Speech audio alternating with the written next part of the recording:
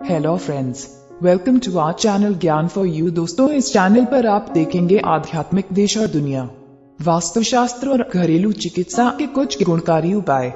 जानिए, द्रौपदी ने ऐसा क्या दिया श्राप जो आज तक है? कुत्ते परेशान महाभारत के बारे में तो सब जानते हैं। सबने सुनी ही होगी या टीवी पर तो देखी ही होगी। महाभारत के मुख्य पात्रों के बारे में तो सुना ही होगा।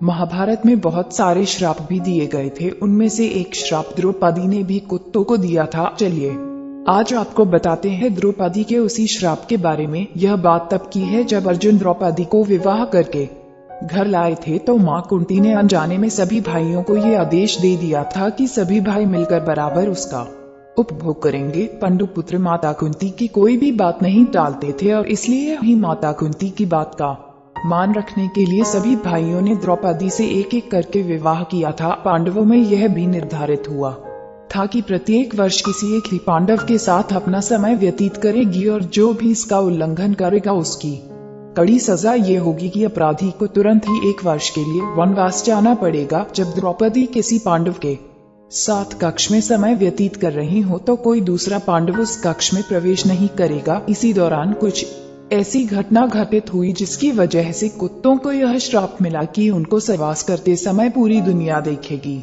द्रौपदी ने गुस्से में कुत्तों को क्यों और ऐसा क्या श्राप दे दिया कि आज तक कुत्ते उसका फल भुगत रहे?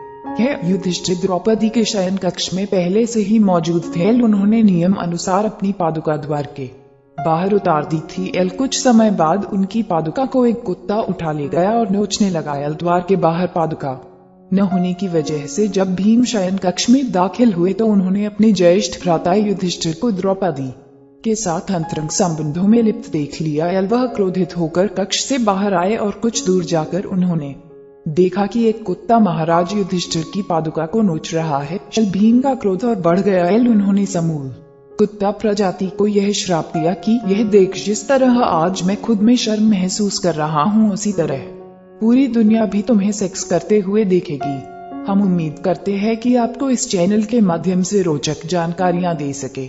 आप अपने सुझाव हमें कमेंट में भेजिए और अगर आप किसी कहानी या तथ्य के बारे में जानकारी चाहते हैं तो वो भी हमें कमेंट बॉक्स में भेजिए और हमारे चैनल को सब्सक्राइब करें। धन्यवाद।